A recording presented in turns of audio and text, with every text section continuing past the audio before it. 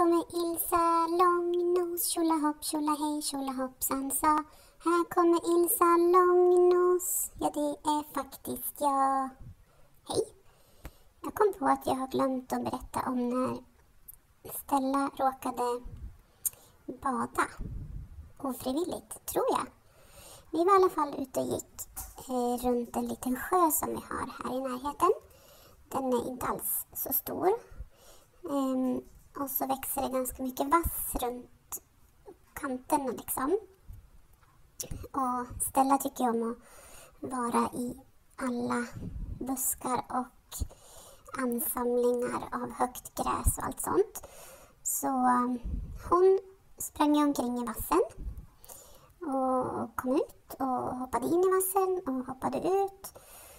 Och så helt plötsligt så hörde Matte ett plums. Och så var det tyst i några sekunder. Och sen kom Stella farandes upp ur vattnet och var helt dyblöt. Så um, hon hade ju helt enkelt ramlat i. Det var lite, lite roligt tycker jag. Eh, annars tycker inte hon om att bada heller. Precis som jag. Eh, förra sommaren så badade jag en gång när vi var i stugan. Då fick matte bära i mig långt, långt, långt, långt ut i vattnet. Det var jättegrunt men det var inte tillräckligt så att jag skulle bottna där så jag fick simma in till land. Och sen när jag hade simmat in till land så var jag jättenöjd att äntligen komma upp ur vattnet så bar matte ut mig en gång till. Um, ja, det var ganska skönt för det var så himla varmt då förra sommaren. Men i år tänker jag inte bada.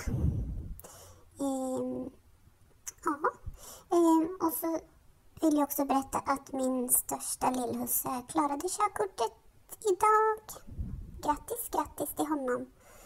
Nu får han köra bil själv. Fast han har ingen bil så matte kanske får låna ut sin ibland. Om hon vågar. Ja, det var allt för idag. Men eh, vi hörs igen. Puss och kram. Hejdå!